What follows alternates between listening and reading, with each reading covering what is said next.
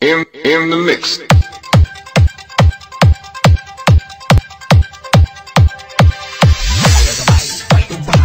DJ Jones remix.